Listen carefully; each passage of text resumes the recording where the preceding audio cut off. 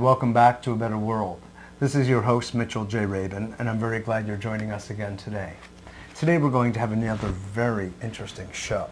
We have with us a Zen master, the author of a number of books, actually five altogether. The last one being this, Big Mind, Big Heart, Finding Your Way. Genpo Roshi has been on the path on his own way, you could say, for many, many decades, and has gone from being student to Roshi, and has been leading groups, workshops, retreats across the United States and Europe and elsewhere for decades, and has uh, a tremendous following. People just love him and his casual way of helping people just come home, come to themselves, and come to their own true nature. And of course, as you know, on a better world, that's what we're about. We're about helping people come to themselves and elevate themselves and become inspired from that, that space. So it's really a great pleasure and honor to have Roshi on with us today.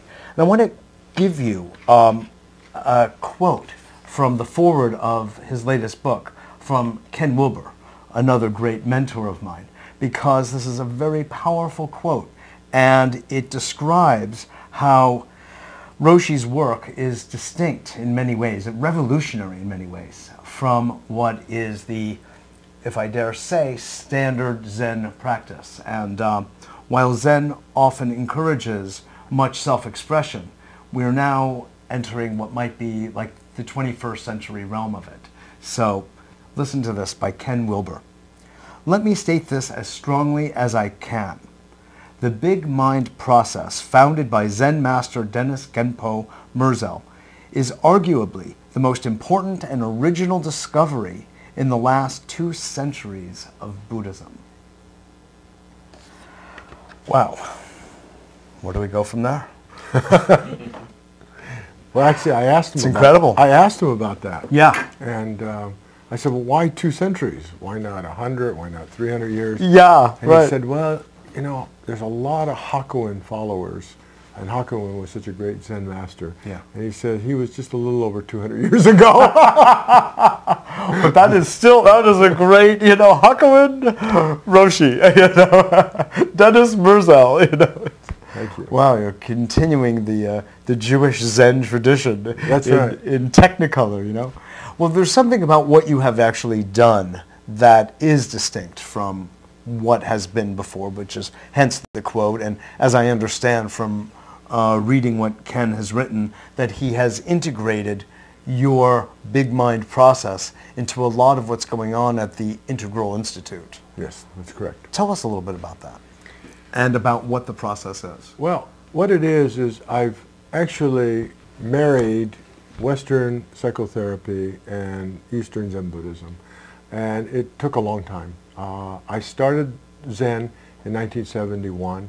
I had been doing uh, Gestalt therapy from the time my father died, which was 1968. Mm. And around 1973... Don't tell me with Fritz Perls. Or with Fritz well, Perls. actually, with someone who studied was studying with Fritz at the Uh-huh, time. uh-huh. I, I didn't actually meet Fritz, Mhm. but his name was Harold, and he was a student of Fritz Perls, and I was in Long Beach, California, and he would go up and study with Fritz. And um, so I started in in 1968, and I had my awakening in 1971.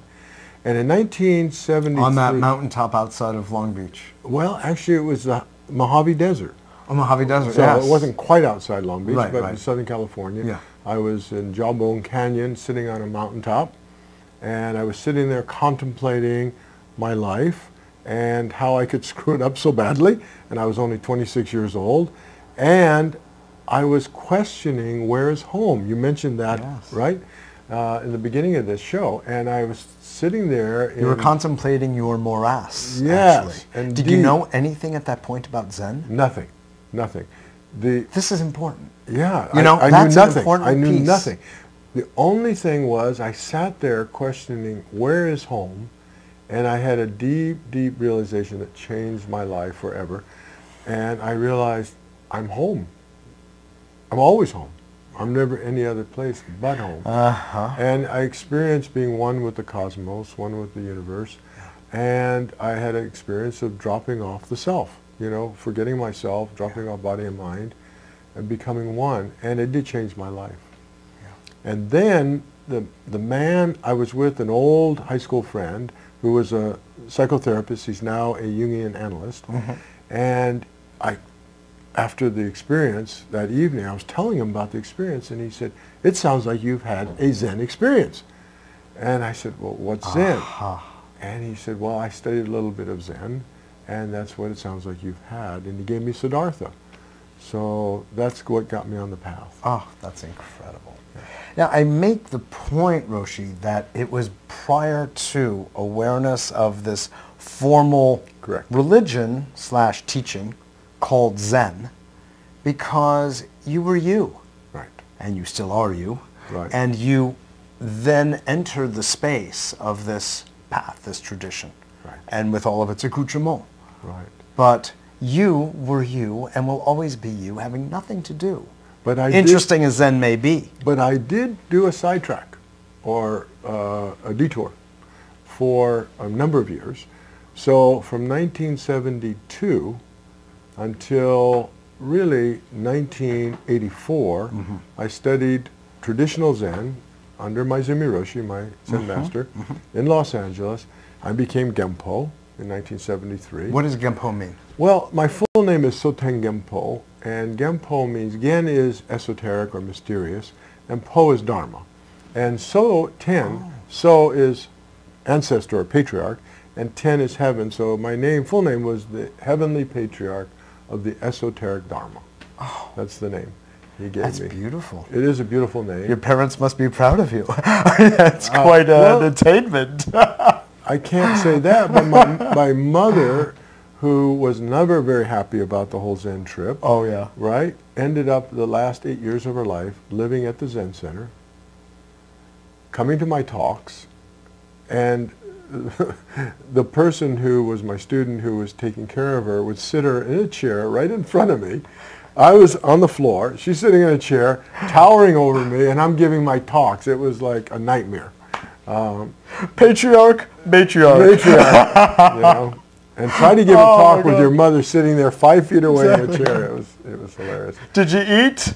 Let me look at you. Did oh, you shave? Oh, it's worse than that. It's worse than that. We were doing Zen and Judaism, Bernie Glassman and I, in L.A., and this was 1978 and 9.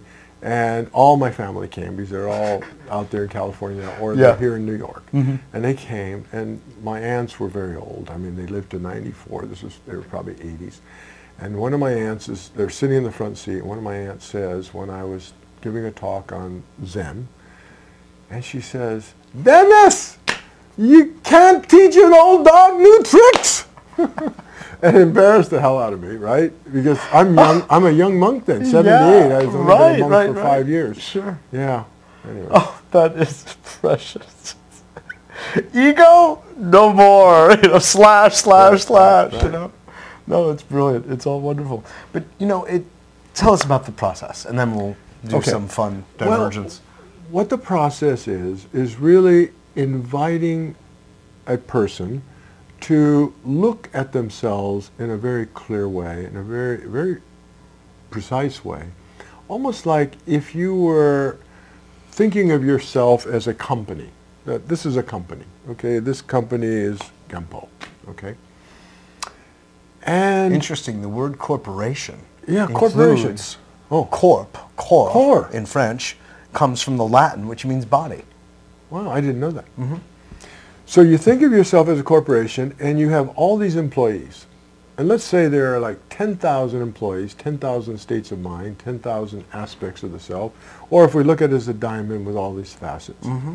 And we take out one employee at a time and we interview them. And let's say that in this company called Genpo, the self, not one single employee has ever been told his job title. He has never, or she has ever been told job description. Never been told what the product is. Never was told who they're working for, why they're there, and what they're all trying to do. And then function. Mm-hmm. Okay? So the Buddha called it dukkha, right? That Suffering. Suffering. That the wheel or the axle of the wheel is not turning. And if it's a mm-hmm. cart with two wheels, mm-hmm. one of them has like one of these pegs in it. And um, the wheel, the cart just keeps going in circles because the wheel is not mm. rotating. So the end of dukkha is to get Hence the wheel of birth and death. exactly, Right. exactly, to get the wheel functioning again, rolling.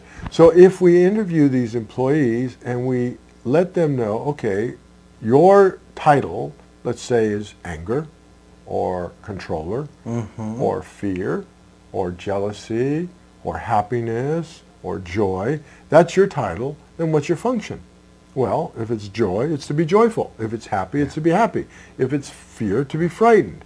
Okay, now, doing that, knowing that, how can you do your job better?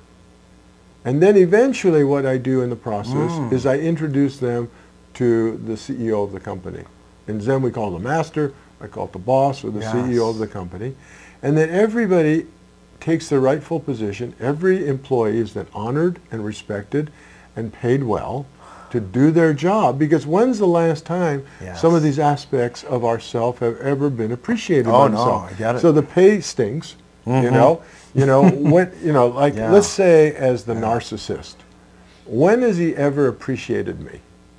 Like I am the narcissist, right? When's he ever appreciated me? or, or, or I'm the jerk, right? When's Uh-huh. he ever said, thank you for being such a jerk?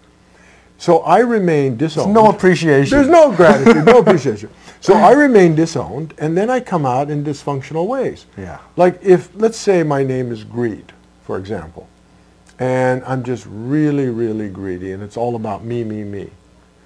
So I don't, you know, he doesn't like that about me, that I'm so greedy and self-centered. So he puts me down in the basement. And he doesn't allow me to speak. Hmm. And so I feel unappreciated. And so what do I have to do? I have to get his attention. How do I do it? I be more greedy. I am more greedy. I become more greedy. Once he begins to appreciate me that I am just the most greedy, self-centered person he's ever met, right? Yeah. Then I'm able to kind of quiet down, calm down. Relax. And relax Yeah. and not be so greedy. Right. And so what we find is Because you have to keep doing what you're good at doing until you get recognized and acknowledged. Exactly. So you it's have all to about self-express. That's right. So it's all about that. It's Right. all about rec- being recognized, being acknowledged, being honored and respected to do your job and to do it most effectively. Right. Then what we find is every employee or every voice, I call them voices, Yes. can transcend itself. Right. So the narcissist no longer is a narcissist, actually full of love for all beings. Greed is greed to awaken all beings. Anger is clear perception, clear wisdom. Every voice has a positive side to it once we begin to take it out of the basement, bring it up into the house so it actually has free access to food and the fridge and the, you know and, and the Mm-hmm. Yeah. TV and the, you know Right. and all that. Right. Oh, it's beautiful. It's beautiful. It's a kind of a play way to acknowledge all those parts of ourselves Absolutely. that are there. That's right. And they're hanging out. And we always want to deny those parts of ourselves that we don't like. That's that right. doesn't match our image of ourselves as being, you know, the brilliant, beautiful, Right. handsome, fabulous person. Right. That's so well said. What I realized, and I only realized this about four years ago now, three or four years ago. Yeah. I think it was 77, I real, no, 2007, that I realized it, was that when I had my first awakening in 71, mm-hmm. what I did was I disowned all those things that were not spiritual. Right? Everything that I Oh, consider not spiritual. Because now, You dumped your girlfriend? I did. I did. I noticed that. Yeah. Okay. You know. I- I, was just yeah, curious yeah, about I- that. I did. At that moment, you Yeah, know. yeah. But that's what you had to do. You were 26. I, mean, I was 26 years old, and I really needed to set onto the path. Yeah. You know, and I, I left. And you perceived her as a diversion from that. well, I also I also felt that it was time, you know, Mm-hmm. for us to part, and um, we split amicably. We actually got together again a year later. Mm-hmm. But and I went off, and um, I I went and lived as a hermit for a year. Wow. I just chopped wa- wood and carried water. Did for you a year. really? Yeah. Yeah. Sat four or five hours a day in meditation, zazen. Wow. Oh, so at that point you got connected because of your friend to uh, Exactly. Maezumi Roshi in L.A. No, I got Oh. get connected to the practice of Zen. Oh. And then a year later, so Were you 1972. under someone's tutelage? No, You I- just No. I went out there into the mountains and I practiced there. I was actually house sitting, a cabin sitting, Mm-hmm. very deep into the mountains around Los Padres National Forest out Oh. uh, near San Luis Obispo, Yeah. off yeah, the Santa Margarita Ranch. And I was back there and I just sat and I, at some point I opened the property up, which I wasn't supposed to do. And I opened the property up. now it comes out. yeah, but it's long enough uh, that maybe right. I'll be It's forgiven. public domain. Right. Anyways, I opened it up and I invited people, and I had about 20 people coming out there twice a week to meditate with me. And I'd read Suzuki Roshi's Zen Mind Beginner's Mind. I was about to come on. I said, I know, you just went with that book, Zen I Beginner's. Mind. That's all, that's all we need. yeah, and I just would read that to them, Oh, and we would sit, God. and then we'd sit a couple times, you know, maybe 30 minutes each, and then we would break out the wine, the cheese, right, and we would take walks. Well, eventually in March, this was I started this in September. In March, I met a gentleman who came out to visit and to sit with us, and he comes out in this black Cadillac, and he pulls out a black cushion with a black flat cushion, which we call zabuton or zafu, mm-hmm. and a shaven head, and he's wearing all black, and he says, may I join your group? Now, at that time, we were sitting, we were, this was hippie days, we were sitting naked. and we were sitting on just little bath mats, you know, Oh, things yeah. like that, right? So we're all sitting around, and, you know, This is funny. he comes out and he says, well, let me teach you how to do this in the more proper way. So he taught us all the, you know, the, mm-hmm. the correct way to do it. Yeah. And he said, Methodology. yeah. Mm-hmm. After talking, he said, I really would like to introduce you to my Zen master. And his Zen master is going to be here in Los Angeles holding a seven-day retreat next week. And I'd like to introduce you. Can you, would you come out with me and we'll make a phone call and I'll get you in. And three days or two days before this, I had a realization deep in the mountains there, I need to meet my teacher. And then I laughed. I laughed. Uh-huh. And I said, how am I ever going to meet a teacher? I'm deep in the mountains. Yeah, right. You're Right? in the middle of nowhere. No middle of nowhere.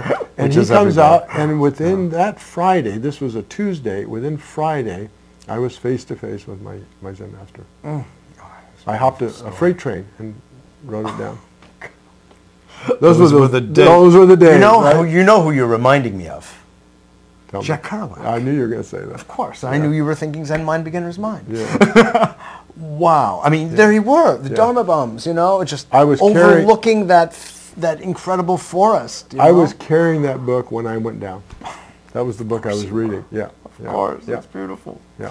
Now, we don't have much time, and I want to get into the juiciest part of all Uh-huh. Zen from my point of view, which of course is Satori. Right. Okay, like why wait? Right. And we've been waiting long enough. Right. and uh, so, how does your process relate to um, that essence of Right. Zen? Right.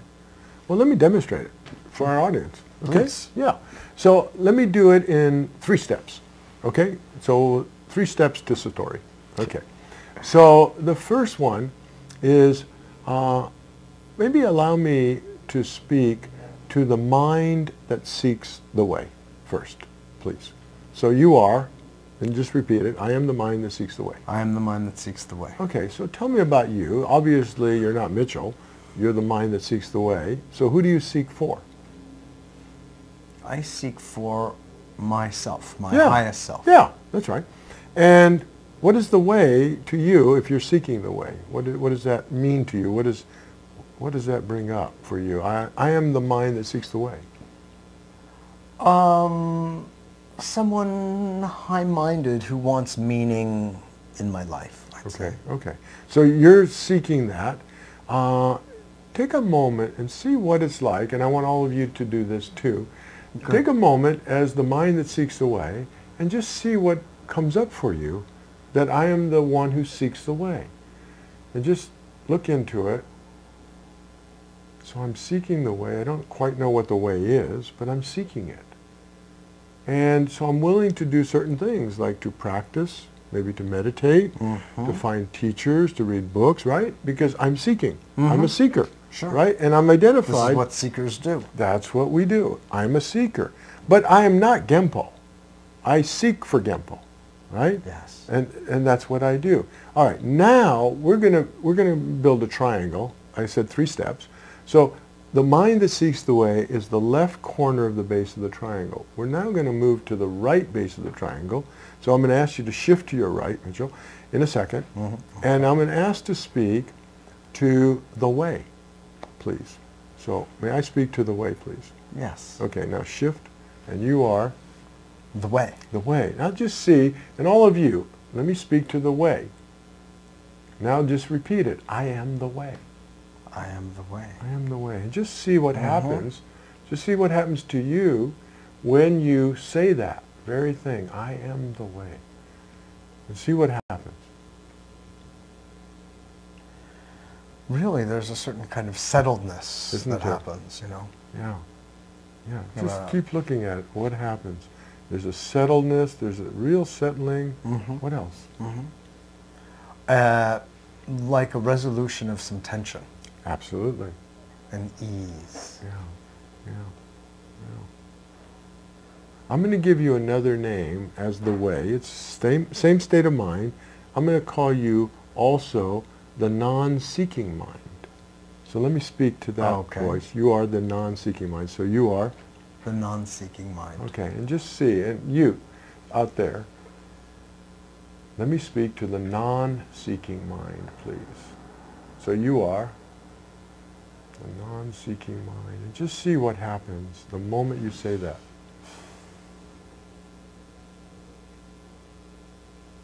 What happens?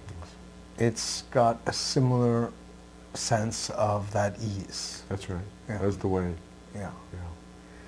There's a slight, actually,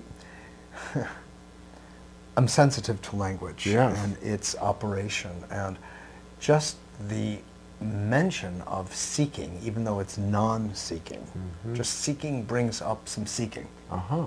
Uh-huh. you know, Uh-huh. because, you know, the mind does not get not. Right, okay. It's so, it has to access seeking to, To get negate not it. seeking. Yeah. Right. Yeah. But it means seeking is there Right. to some to some degree, there's Right. still some seeking, maybe in Mitchell in the self, but not in you. I'm the non-seeking mind. Mm-hmm. All right, now we're going to go to the third point, everyone, and that is we're going to go to the apex of the triangle, which holds the seeking mind over here and the uh, and the non-seeking mind over here, or the way, and we're going to talk to the apex beyond seeking and not seeking. So let me speak to the apex. You are the apex. beyond seeking and non-seeking. Yes. And see what that is like. To embrace both the seeker and the non-seeker. Mm. The one seeking the way and the one that is the way. And see what, what that brings up for all of you.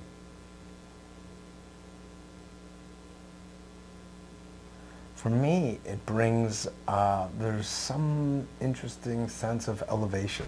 Mm-hmm. I don't know how to put it, but Mm-hmm. Mm-hmm. there's a rise above It all. the fray of seeking and maybe even not seeking as That's right. polar opposites. as That's right. two- That's exactly right. Mhm. Yeah, because those are still polar. Yeah. And so sometimes the way or the non-seeking mind is polarized with the seeking mind. But from the apex, you just embrace it all. You know? Yeah. And then as we allow that to move, that triangle to rotate, we've got a circle. And that is tantric. That is Ah, that is yes. Vajrayana. mm-hmm. You know, that is the, the practice of then bringing that into our lives and that there's no hierarchy here. The mind that seeks the way, the way itself, and the one that transcends these two are all equally essential, equally important, and no, has, no one has a higher position over the other. They're all integral parts. Interesting. Yes, yes, yes. It's also that notion of thesis, antithesis, and synthesis. Exactly. The That's exactly what it is. Triune, right? I Yeah. learned about that after I came up with the triangle. Really? Some people told me. Oh that. yes, Yeah, uh huh. Yeah, Yeah, yeah, yeah. That's that, you know, That's right. Hegelian way of manifestation, actually, the way Absolutely. life happens and what Gurdjieff would refer to as the law of three. You know, That's that, right. That's you know, right. Yes, because you, you've also got the three treasures in Buddhism, the Buddha, Dharma, Sangha. And the Sangha, if you look at it as the apex of the triangle, then the, the Sangha is at that apex point, and that is the Buddha Dharma. And that is yes, that is the unity of Buddha and Dharma. Mhm, Right? right. You also have Sure. Hinayana, Mahayana, Mahayana, and Buddhayana. Buddhayana, and- and- not Vajrayana. Or Vajrayana, either Okay, one. okay. Okay, but here's the way I do it. Uh-huh. Hinayana, Buddhayana, Mahayana as the apex. Oh, yes. okay, I get it. Yeah. right? That which makes everything appropriate because you're you're bringing together the absolute and the relative, Yep. and then spin it, and you've got Vajrayana. The movement of the whole. movement is the highest. Yeah. Yes, the movement, yeah. and it's the whole well, triangle. Not That's what- hierarchically, but Not Yes, right, hierarchically, right. but it is it is that. evolutionarily. Yeah. if you will. Exactly. Exactly. Beautiful. Well, Yeah. I am happy.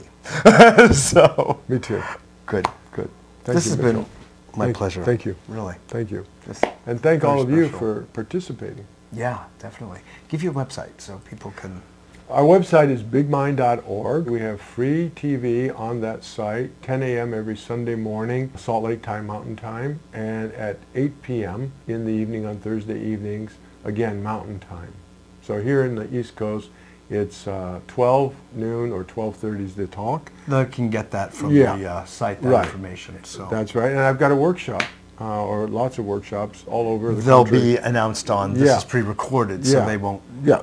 But the radio show we will have you on too, and we'll. That's Okay. live, and we'll let everybody know. Okay, great. Definitely. Great.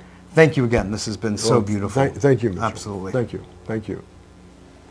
This is Mitchell J. Rabin for A Better World. I hope you were as elevated by that as I was. And uh, please contact me at mjr at abetterworld.net. Write to us, let us know your thoughts, feelings, experience, and get in touch with us at our website, www.abetterworld.net. Thanks so much for joining us, and I look forward to seeing you all next week.